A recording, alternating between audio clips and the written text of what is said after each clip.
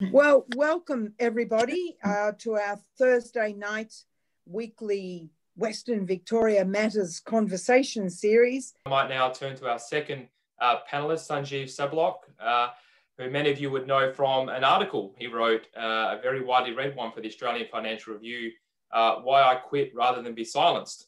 Uh, that was in regards to his time at the Victorian Treasury, where he was until very recently a senior economist Department of Treasury and Finance here uh, in Victoria. Uh, he resigned on uh, 9th of September 2020 after he was directed to remove his direct and indirect social media criticisms of the handling of the pandemic by some officials uh, of the Daniel Andrews Labor uh, government. Sanjeev, of course, has a book out, uh, The Great Hysteria and the Broken State, which is a fantastic read. It's just been published by Connor Court and I would commend it um, to you all. Sanjeev, thank you uh, for joining us this evening. Um, in terms of your time uh, in Treasury, as in the public service, and of course you uh, migrated here uh, from India, which gives you another unique uh, take. Uh, give us a bit of an idea of what your main concerns were during your time in the public service under Daniel Andrews. You're just on mute. Uh, Sanjeev, you're just on mute, sorry. Right. Uh, so I think uh, I have nothing against Daniel Andrews. Uh, in fact, I, as I mentioned in my book, uh, I actually voted for his uh, second term. I thought he had done a good job. so it's not about Daniel Andrews. it was about the complete abandonment of all the good policies that I've been, you know, familiar with over the past 15 years in Victoria in the Treasury in terms of risk-based analysis, uh, proportionality, uh, adequate, uh, you know, consultation, uh, transparency of all the arguments and so on. So what happened is that I actually later discovered after resigning, and, and, this book has a lot of that because I, I did a fair bit of research in, in writing this book. Uh, I discovered that the Victorian Pandemic Plan, uh, which was published on the 10th of March uh, and was actually announced, I think, by Daniel Andrews, was a very good plan. It had all the good elements of public policy that we have been used to. Uh, what then happened is that between that 10th of March and the end of March, the uh, something happened, and I've got a chapter in my book trying to figure out what might have happened, which is probably the Neil Ferguson model and the hysteria created from that. That's why I call this the Great Hysteria. I think people uh, just went blank uh, because all the good policies that were in place, they would have actually done, uh, you know, the, the flattening of the curve, managing the medical system, like you said. And, uh, you know, it, there was plenty of stuff in the, in the plan about educating the community and all the good things that you'd expect. And workplaces were supposed to be shut in a targeted way because our Public Health Act also is very precise in terms of how you shut down a workplace because uh, it's a property right after all. So all the good policy was basically trashed. And so I didn't really realize that it was in our pandemic plan, but I knew from my own work in 15 years in the Treasury that this was not the way we were going to do this. And I had provided advice in writing, and I've FOI'd that advice so I can then publish it. Um, uh, but that was not my area. Uh, it's not that I was advising on pandemic policy, but it's our job as a collegiate organization to provide advice to our seniors about what we think is the right approach on any policy and it's their job to then feed it to the right elements in the treasury. So it was not happening. Uh, there was a lot of uh, attempts I made to explain this uh, to a lot of people. Didn't happen. I've been writing articles in the Times of India. I, I wrote 17 articles in the last six months explaining this thing. Uh, I studied a lot of uh, you know medical books and, uh, and epidemiological books and virology books.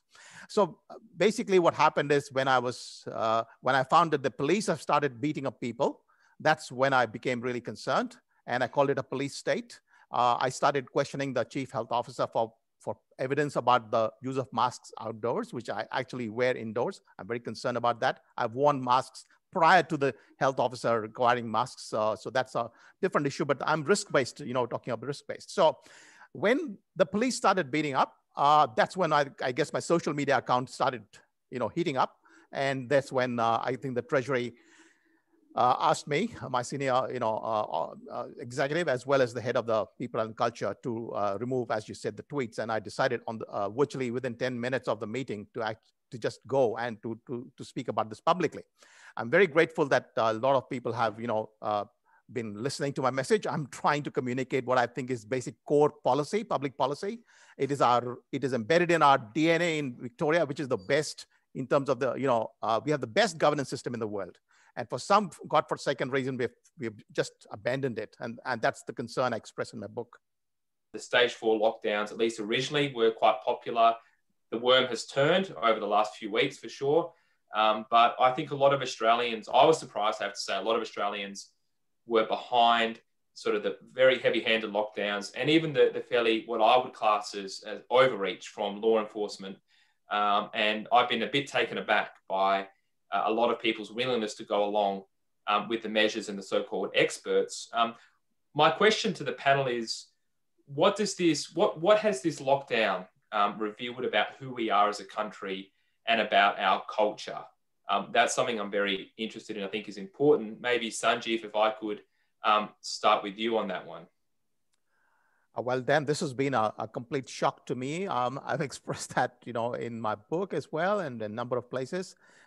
Fact that uh, all institutions in Australia. So, uh, what I've argued in my uh, lecture, uh, my presentation to the Samuel Griffith uh, Society the, the last week was that um, a, a common law uh, you know, based uh, country like ours without a Bill of Rights in the Constitution.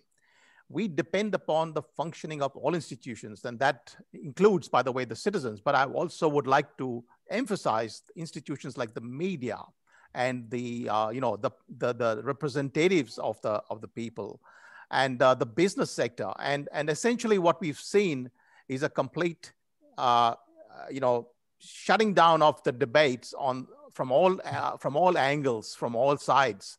Uh, in fact, somebody asked me a question in the interview yesterday. Uh, I had an interview with somebody else, and their question was, "Why do you think the media has not carried much criticism of, or even analysis of these policies?" And to me, that was the basic question, really. And I thought, and I think I've addressed it to, to an extent uh, in my in a book, and I think that also gets back to the question about Daniel Andrews' you know personal character or whatever. And I have nothing against anybody here. I believe all people are good people. And all they've done is they've gone into a, you know, hysterical mode. So, you know, when you flip your lid, as they say, your, your, your frontal lobe stops working.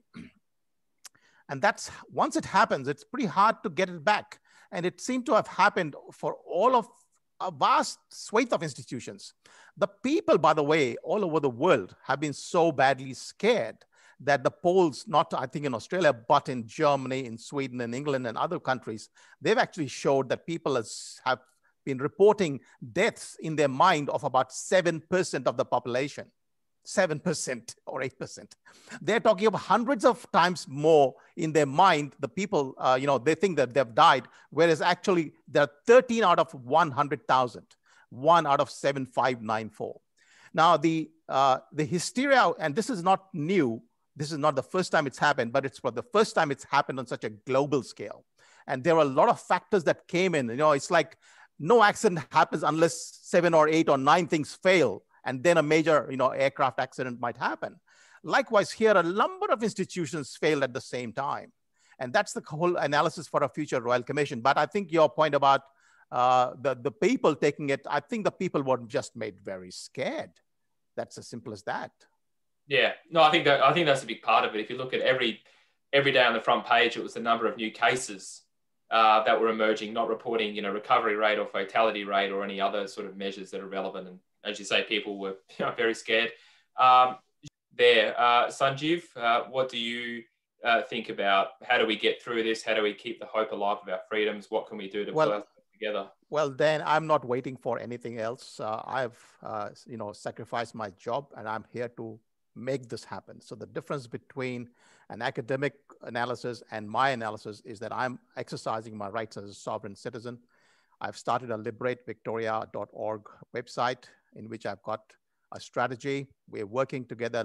The legal cases that are going on. I'm working with, uh, you know, a, a, team of wonderful people who are doing great things. Uh, I think the collaboration that I'm looking for now is of those people who want freedom, please join this little Google group that I've got. Uh, there are a number of excellent people that we're well connected. We're, I'm working practically 18 hours a day.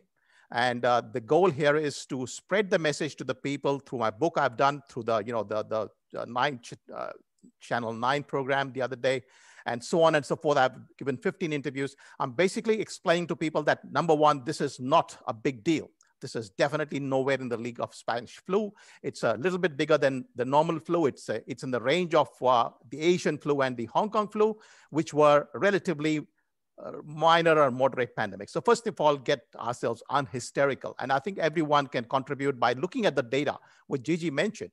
And it's available publicly, and I've actually got it in the book. It's written so many places. It's a common sense thing. So once we get unhysterical, we need to understand that we, each of us is fully capable. And I think I, I cite the Swedish model uh, repeatedly. The, each of us can be trusted. And I think the trust point that was raised by Gigi is so critical. The government has, has, has, has displayed what uh, Friedrich Hayek has called the fatal conceit that it can actually fix every single thing on, on earth. You know, like uh, David also mentioned that, you know, it's throwing packages and so on at people. Well, actually, a complex society like a, uh, an economy requires all kinds of factors, you know, the agglomeration effect, the collaboration, the competition, the whole thing is such a complicated exercise. And that requires the state to play a very minimal role the idea that the state is playing such a dominant role today by throwing packages, you know, paying the workers, shutting down this business, that business, creating the most absurd rules. I cannot even try to describe the absurdity of the rules being cooked up by these extraordinarily conceited public servants. So what we, what I'm trying to do is to basically just fight back. I'm, I'm not here to take this lying down. I have taken this lying down for six months. And then I think I've come out and I think I've got to really get this fixed. So I'm actually act operating as a political citizen at this stage, a single one man political citizen. I, anybody who wants to join, fight with me, get ourselves liberated, liberate Victoria, and, and, and get the people unhysterical and get the government to implement its own laws. And I've shown in the book that they have broken all the laws of Victoria they have the transparency issue that David mentioned.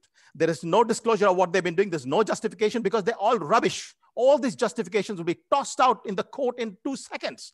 This is the biggest pile of crap that they are implementing at the moment in Victoria, there's no justification whatsoever. And I know that there's none because in my book, I've explained that lockdowns were banned by the World Health Organization. They are, they are rejected outright by scientific papers. There's not a single peer reviewed paper in the history of the world prior to the Wuhan lockdowns that actually said that lockdowns are going to do any good. And there are so many papers that have come out since then that said lockdowns have done nothing as we expected. So we are saying that this has got no benefit. Forget about the idea of a potential saving of life. This actually cost us lives because they did not focus focus on the elderly, which is what the original plan was going to do. So what we've got is a terribly distorted and broken government. I call it the broken state, the broken government. We need the government to get its act together. We need the public servants, people like my Secretary of the Department of Treasury, who should have actually used all the possible advice. And I can tell you there are a lot of economists within the Treasury who are dramatically concerned about what's going on. This is not how econ economists work. So, you know, the, the whole idea of uh, collaboration, this is just the, the, the shambles that we have today. I think that shambles needs to be fixed by all of us coming together to fight for our freedoms and to fight for the, for the implementation of our laws in Victoria, which are really, really good. Thanks, Sanjeev. Dave, uh, experts, and Kyle asks, um, what are the views of the panel on the various federal and state emergency legislation which seem to enable governments to shed decision-making and responsibility through to uh, unelected experts slash specialists. Uh, and then the follow-up question, should the balance be changed to protect democracy? I would say absolutely, it must be changed.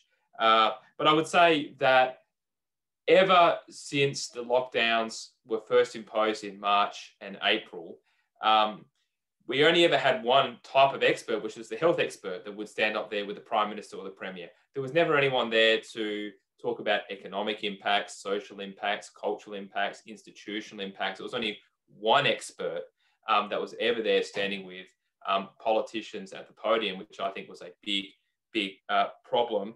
Uh, Sanjeev, uh, given your experience in um, the public service, what's your view? Do you, I know some people aren't you know they, they might say well we need to have lots of a lot of experts. They play an important role. Other people you know such as myself are a bit more skeptical of it. Where do you uh, land on this?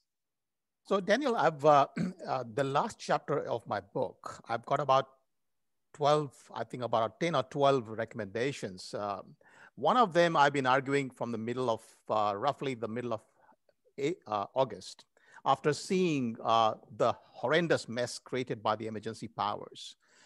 And also, by the way, the precautionary principle, which to me is the most deadly piece of ammunition. It's like a bomb planted inside your body. And I've, I think that's there in almost all legislation that needs to go. But the emergency power, by the way, in Sweden, I studied this matter and it was very obvious that Sweden is actually not only led by the world's greatest uh, epidemiologist, he's got the most enormous experience in terms of you know infectious disease. So he's a great scientist and he's a doctor, uh, very concerned about this pe- uh, you know people. But also the Swedish constitution, I had a close look at it. It only allows a declaration of emergency in the case of declaration of a war. And therefore, the, there's no possibility whatsoever of uh, uh, any such mass, you know, increase in powers of mass closure of work downs, workplaces, and so on.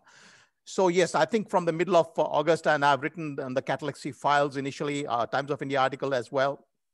And in the book, I've argued this is the, I think, probably, probably the first item that we should ensure that there is no power anywhere in Australia, whether in the Commonwealth or in the States, for an emergency declaration, except in the time of war.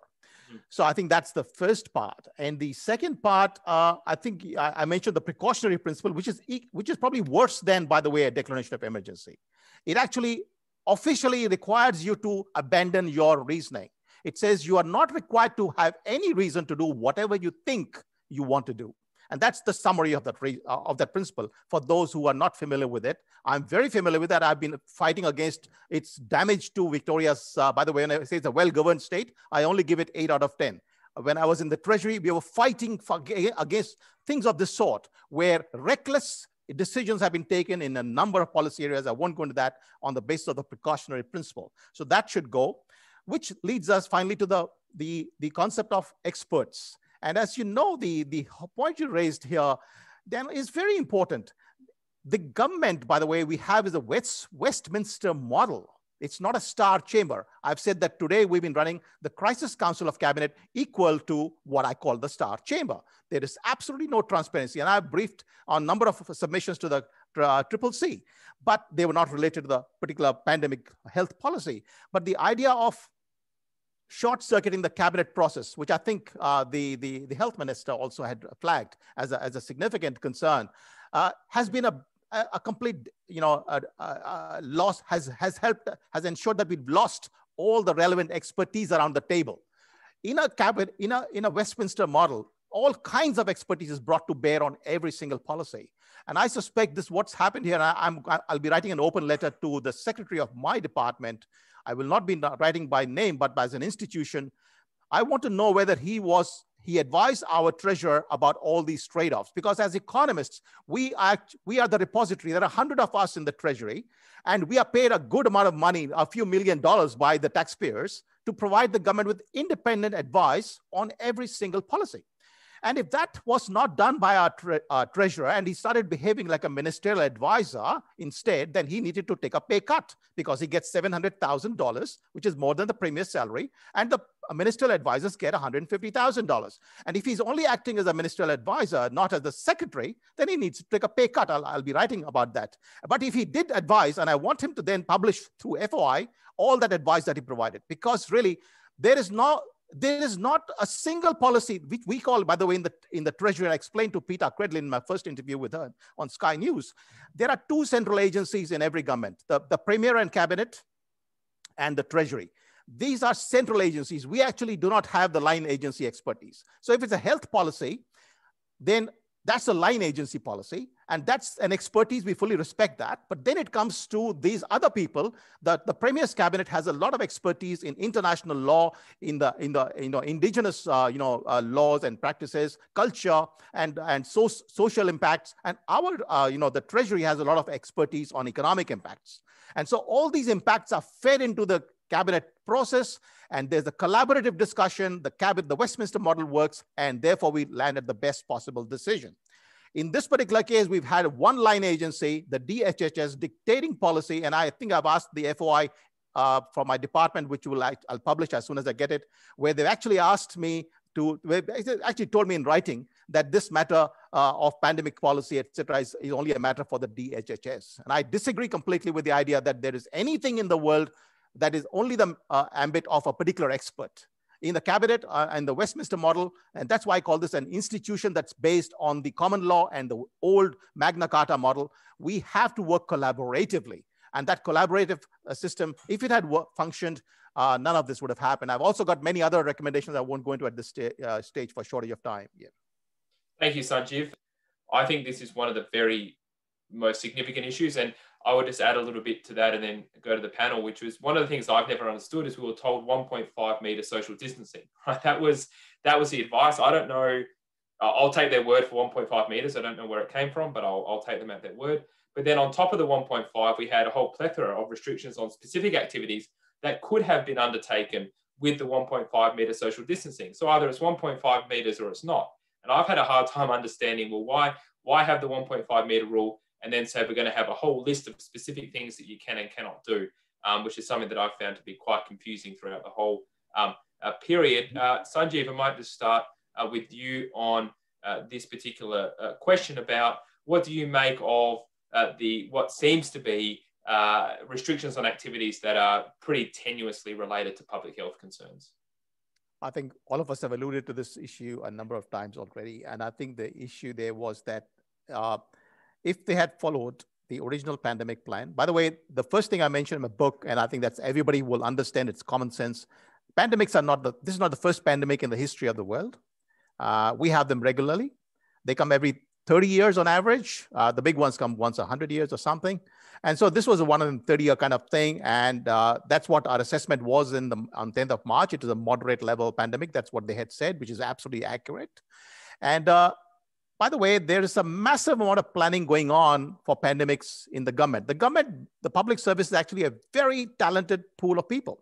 The doctors, you know, the, the, the, eh, the economists, the lawyers, and the whole lot of experts who advise on these plans. So the plan actually was very sensible and it would never have allowed, and it would have ensured a very targeted thing. Like, you know, we had the example of uh, what, what, what's that, uh, you know, they, they're shutting down of a building for what is that disease called? Legionella? Legionnaires disease, yeah. Legionnaires disease. And so that's a very specific thing. And remember, the, the public health law requires the, the, the details of the, uh, uh, the reasons to be published. It, it is a, it force, it actually says the chief health officer shall not uh, impose any arbitrary order.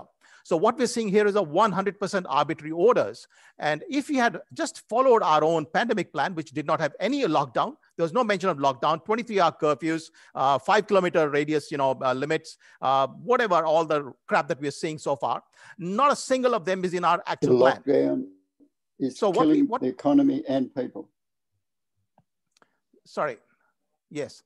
So what, what we basically have in Victoria is the most arbitrary set of uh, policies that have been imposed uh, by our chief health officer and I think the whole bunch of experts. And I, I suspect a royal commission is absolutely urgently needed to, to, uh, to understand why this happened. And I suspect, as David had mentioned, that the precautionary principle will be will come out as the you know excuse and i i would argue that we should as victorians and as australians abolish the precautionary principle because this gives everybody an out and so they can go to the court and say, sorry, we did it as a precaution. But where did the precaution come from? It's in my head. Like, you know, oh, we want to keep the overall level under control. And so there is no reasoning allow, required under the precautionary principle. And that is the most deadly thing that they have in the Public Health Act, as well as in many other acts in Victoria. So overall, I think what we're seeing is absolutely arbitrary orders. Uh, Dan, I'm sorry, I can't, I can't find, because I've done a lot of science uh, background. I've got a science background, a massive study of all these issues, 17 articles on the topic uh, in the last six months. There is not a single uh, uh, measure, public health measure in Victoria in the last six months that is justified by the science. Yeah, thanks, thanks, Sanjeev. Um, that's pretty concerning if you couldn't find any. No, not a single. uh, great. Thank you, David. Uh, thank you, Gigi, and thank you, Sanjeev. And thank you, everybody, for attending and for your active participation. Great discussion. And I will throw back uh, to Bev for some concluding remarks. Thank you, Bev. Well, thank you, Daniel. You've been an outstanding moder moderator. And haven't we had a, a suite uh, of experts tonight who've uh, abandoned the precautionary principle and uh, uh, told you exactly how it is. We've heard about the splitting of society between those that are in a job effectively and those who are not in a job, and especially the public service area who are in a very well paid job and they even got a pay rise. Um, we've, we've talked about the cost of lockdowns and the unseen costs of lockdowns. And, and those include the fact that many people have not presented to doctors and hospitals uh, for, for treatment, preventative health treatment, the costs of which will be immense as we go down uh, the path of uh, finding out that people do have uh, complaints that should have been treated way earlier. We've, we've, we've talked about how we can come out of this. Well, I'm always the glass half full girl, uh, and I only see opportunities, not problems. And I'd like to think that we now have a greenfield site that we can actually develop a far better way of doing government in this country than we've ever done before. We've got to take the lessons, as David and uh, our panelists have said, about the overreach of government.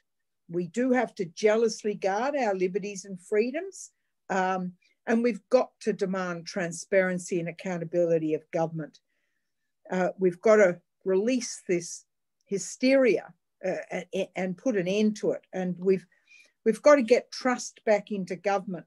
We've lost that. Government's lost our trust.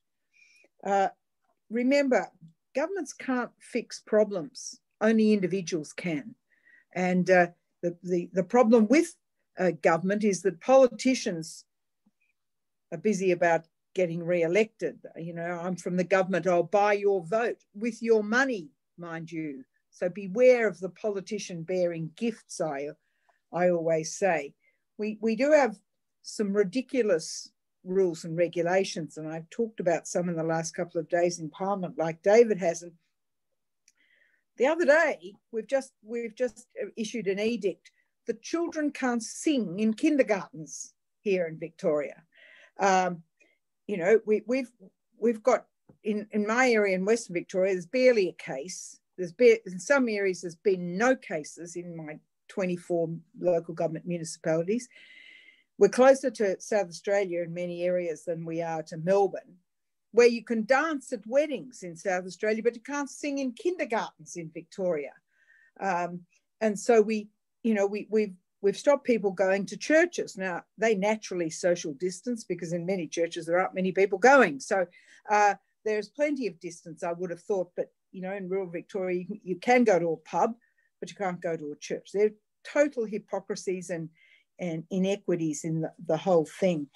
Uh, the, I've said today in Parliament that we'll have a, a real emergency on our hands and it'll be a fire emergency because right now people in Melbourne, if they've got a property outside of Melbourne, they can't even go and do fire prevention. So we'll, we'll have a bushfire emergency soon uh, because we've had a fantastic season, lots of rain, there's lots of growth, uh, yet people can't do fire prevention because of it's not safe to move move out and it's not considered essential. Uh, Sanjeev talked about needing a royal commission, and today, of course, was an anniversary of the unfortunate anniversary of the collapse of the uh, Westgate Bridge and the loss of lives. Well, immediately Henry Bolte called for a royal commission I think there were 30 lives lost. Is that right, David? Correct me if I'm wrong. Uh, well, we've, I can't remember the exact number off the top of my head, but yeah. yes, it was a significant loss of life. Yeah, so around under 50 anyway. Well, we've we've actually killed 800 people here in Victoria. Nobody seems to remember how it happened, who's responsible. I can't recall. They don't read emails. Uh, so we badly, I, I think, need a royal commission to find out exactly who's responsible. And in the omnibus bill the other day in committee, my first question to the minister was which minister brought to this bill the idea that we'd have authorised officers? Well, after about a quarter of an hour of questioning, we couldn't get an answer. Well, it was a collective cabinet decision. Well, we, you know, so nobody, I said, I'm just trying to save you money here. We've spent nearly six million on on an inquiry to find out who was responsible for hotel quarantine. I don't want to spend another six million trying to find out who decided we'd have authorised officers in this state. but we, they could not get an answer out of the minister on this particular point. And this is the problem we've got with this uh, crisis cabinet that was set up, as Sanjeev has explored, where there is no collective advice and decision making that happens in, in normally in a, in a cabinet where everybody sits around with advisors and you know errors that have occurred and decisions that are made would never have happened in a normal Westminster cabinet system. Going forward, I think we need to, to we it, in this world of opportunity I hope we'll have after this is we need to redefine the roles of the three levels of government. What are they specifically needed to do? How can we reduce the level of duplication, administration, regulation? And I think what we do have to have in, in government in this country, uh, uh, especially in this state, is we need to have an outcomes column in the spreadsheet. If the program does not deliver an outcome, it should be scrapped. Uh, that would actually reduce a lot of activity in government uh, if we, we looked at what are they actually delivering, at what cost, for what benefit, and does it serve a purpose? If it doesn't, it goes. Um, so there is there's a, a, lot that we could do to make this better. Certainly, David and I and uh, our colleagues uh, will fight to ensure that freedoms are restored. Uh, this government does uh, answer the questions that are so vitally needed to find out how this happened and why it should never happen again. And that's the most important thing I think we can do to ensure that we never get into a situation where we have basically a dictatorship uh, running our state. And we only have to look at the other states where 14 cases in New South Wales today, six in Victoria, they're not in lockdown, masks aren't compulsory, the world's going on, uh, the economy's uh, back in operation, shops are open. Here, uh, we've pursued this strategy of elimination, and the costs, as Gigi said, are enormous. They're going to be enormous uh, uh, monetarily wise, but in, in, a human sense as well. So, look, I thank everybody again for this the wonderful presentation that they've given tonight. I thank the audience for joining us again.